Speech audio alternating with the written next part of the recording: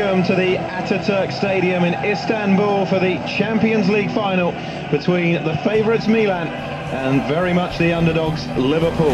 Well, Liverpool will be hoping to give UEFA a decision to make by winning here tonight. Their inconsistencies in the Premiership has cost them qualification via the league, so they need to win here and hope that powers that be have a change of heart. A surprise selection for Liverpool is the inclusion of Australian international Harry Kewell in place of Dietmar Hamann in a five-man midfield. Referee for this one is the Spaniard Mejuto Gonzalez. Paolo Maldini in there as well. Pirlo will deliver it. Oh, and it's come across, and it's a goal already for Milan. And it's Paolo Maldini. Well, what a story this is. Captain fantastic for Milan. And unbelievably, inside the opening minute, the worst possible start for Liverpool. And it's Paolo Maldini. Kaká. Crespo's gone one way, Shevchenko's run the other to Shevchenko.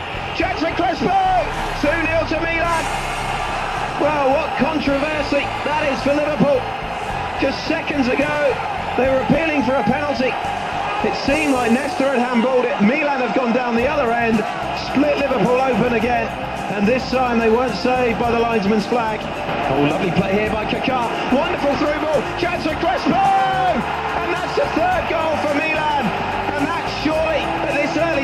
Stage, is the European Cup returning to the San Siro. Well, that's fantastic to watch. The ball from Kaká was special. It was like a surgeon's knife. It just slotted in behind the back four. And Crespo, you've got to say, his finish was exquisite. Second chance to cross in though from Riise. Gerrard's header! And a goal back for Liverpool. Well, there is hope after all. That wonderful header by Steven Gerrard. But has it come a little too late for Liverpool? Well, that's a fantastic header. At all. Could he have taken off? Maybe he could. Still a fabulous, fabulous header. Here's Hamann now. Touch to Smicer. Oh, he's lining one up. Smicer! Oh, it's gone in! It's a second goal for Liverpool! And this is quite sensational now. Where on earth did that come from? They didn't look as though they had a goal in them. And two goals in the space of two minutes. And suddenly now, there's hope. Xabi Alonso then.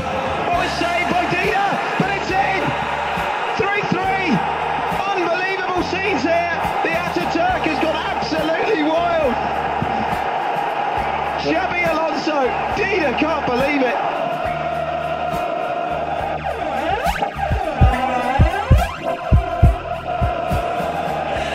There's normally nobody cooler than Shevchenko, but not this time. It's saved by Jerzy Dudek,